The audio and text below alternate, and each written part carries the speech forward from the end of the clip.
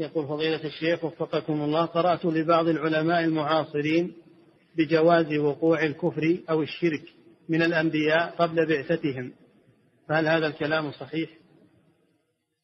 قبل بعثتهم؟ نعم. الله أعلم. نعم.